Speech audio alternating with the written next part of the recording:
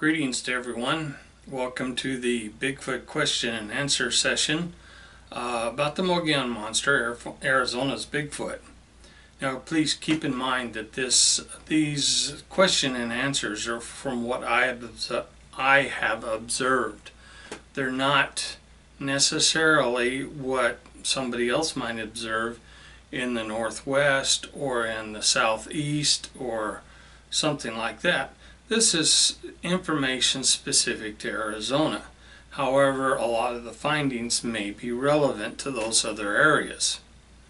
Uh, it, these are my own opinions. I can only base my opinions on what I have seen or observed or what I feel about.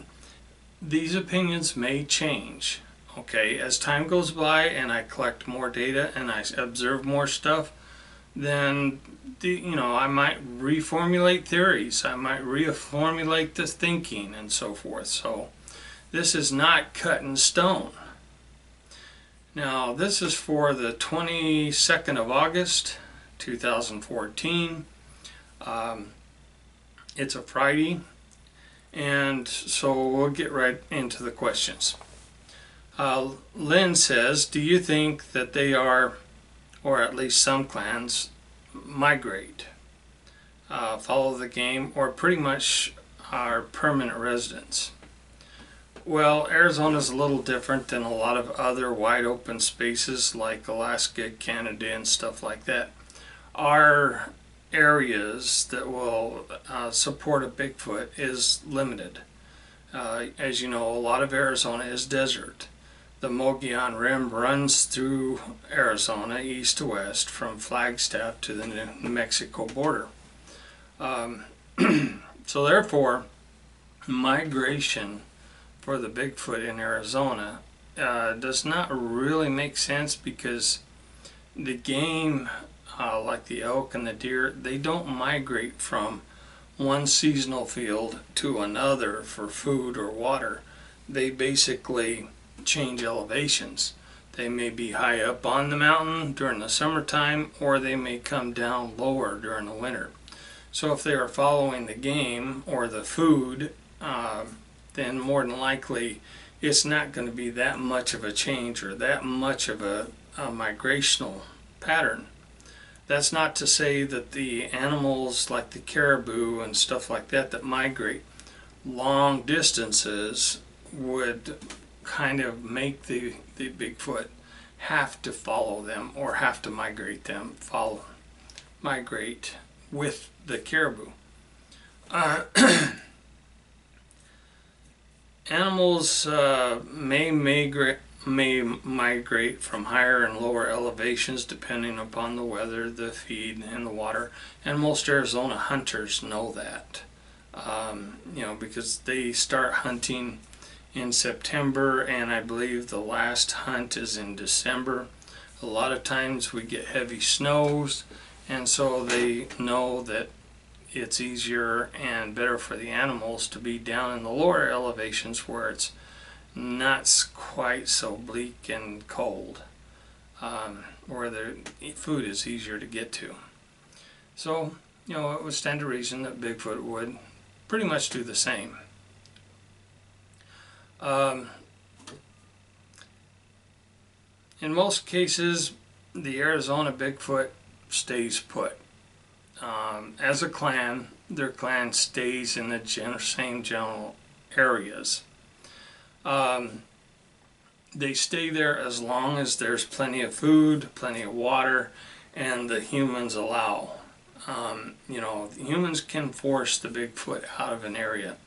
Now one thing I have noticed is there's a lot of activity around Indian nations or Indian reservations. Um, this is because they pretty well know that they're safe on the Indian land. Uh, you know, that's kind of how intelligent they are. And the Indians do not hunt the Bigfoot.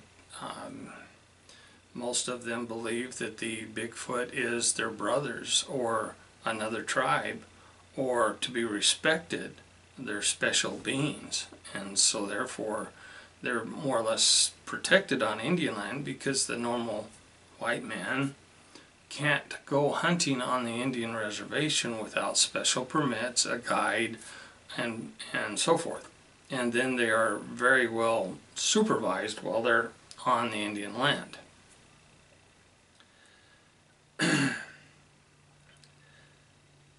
Forest fires might have something to do with where the Bigfoot is located in Arizona. Um, in one of the areas where I was researching for quite some time, the uh, Bigfoot were concentrated in a certain specific area because the water was easy to get to. There was lots of game and stuff like that. But then a forest fire uh, came rampaging through the area.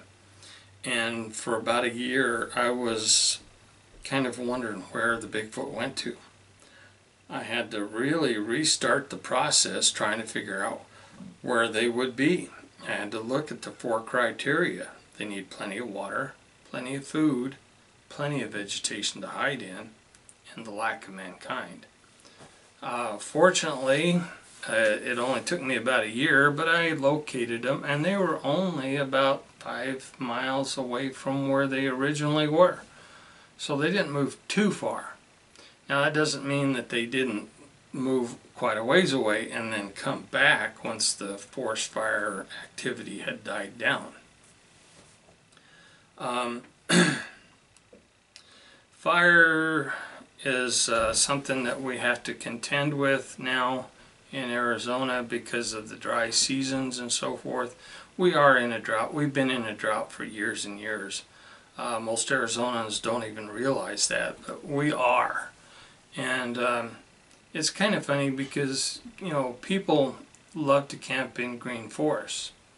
And unfortunately, if they start a fire and burn down that section of forest, they don't want to use that anymore. So they move on to the next patch of green forest and until it burns down. So little by little, uh, the actual habitat that can support a Bigfoot is going away.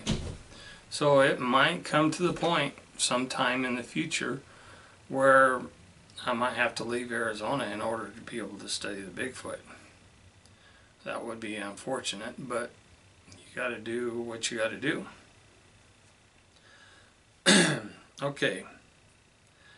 Uh, young adults might go on a walkabout, and this is an Australian term for the Aboriginals, where they sometimes need to go off and seek spiritual uh, comfort or find themselves or whatever, and they go on an extended travel. Okay, and the Bigfoot might do this, and one of the reasons why they might do it is in search for mates.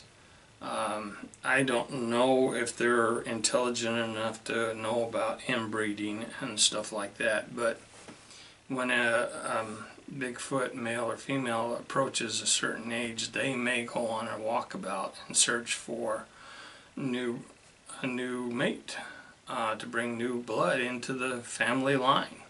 So um, I am not sure whether or not uh, the Bigfoot couples stay together. Uh, for a long period of time, I was noticing that Whistler and Hooter were not too far apart. Um, you know, usually if I heard one or saw one, the other one wasn't too far behind. Well, of course, Squeaker was the the youth, and he was usually just in front of Hooter as they come off the mountain down to the campsite in order to uh, uh, see what kind of goodies I'd left them. But um, then Whistler started not being there as often. And to tell you the truth, I haven't seen Whistler in about a year. So I don't know if they mate for life. I don't know if they, um, if the male mates hangs around for a little while and then leaves. I don't know. But, you know, maybe time will tell. Maybe Whistler will come back and we'll see more about it.